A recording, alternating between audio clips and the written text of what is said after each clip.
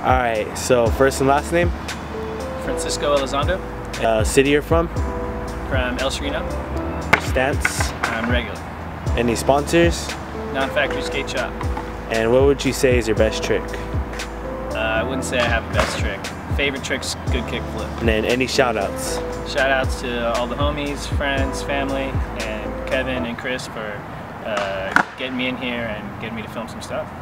For sure, it's a wrap. Thanks, man.